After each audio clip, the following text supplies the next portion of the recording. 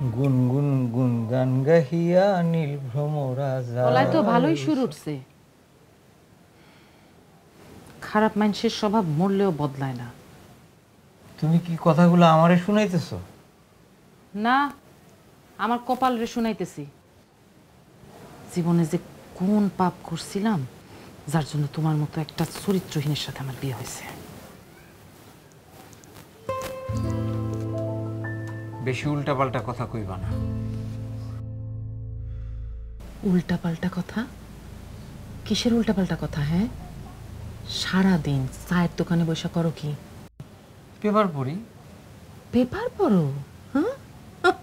কতক্ষণ পেপার পড়ো হ্যাঁ?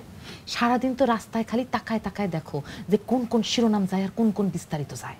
চোখ ফাইরা ফাইরা দেখো। রাস্তা দিয়ে কোন কোন মেয়ে লোক যায় এটা আমি দেখি না। এটা তোমারে কে কইছে? কইছে পেটে মোচড় দিছে না? যার মনে যা ফল দিয়া ওঠে তা। এই আমার চক্ষু নাই হ্যাঁ? বারান্দায় দাঁড়াইলেই তো দেখা যায় যে তুমি চায়ের দোকানে বসে কি করো।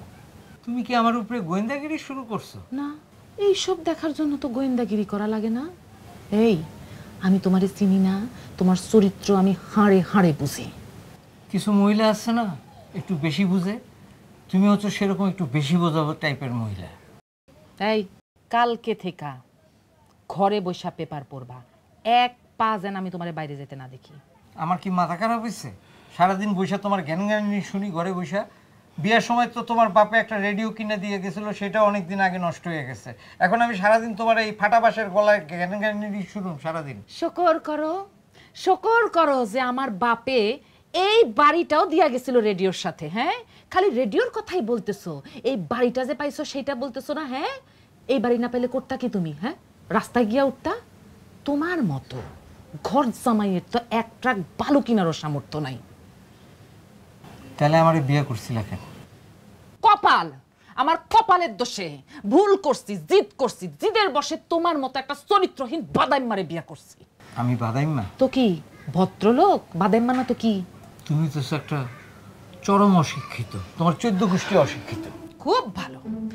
আমি মূর্খ আমার চোদ্দ গোষ্ঠী মূর্খ আমার আঠারো গোষ্ঠী মূর্খ কিন্তু তোমার মতো তোমার মতো চরিত্রহীন না। তোমার সাথে কথা বলাই আমার বৃথা আসলে। ইচ্ছেই করতেছে না। ওই, হ্যাঁ? খবরদার। আজ যদি এই রুমে আসস তো ঠ্যাং কাটা দিব। বদমাইশ।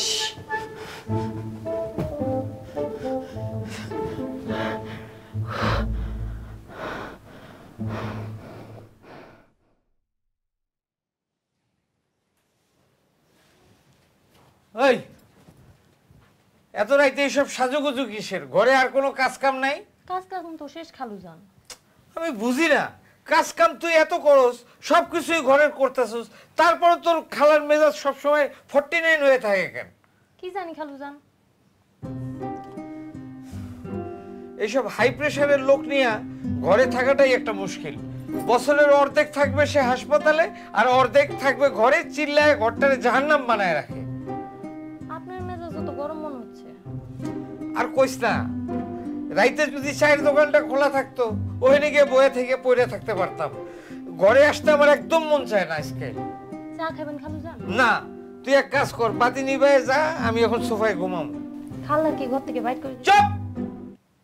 তোরা তো কিছু জানতে হইব কেন? তুই এটা আটকা লাইট নিবা তারপরে যা এখান থেকে। আচ্ছা। সব।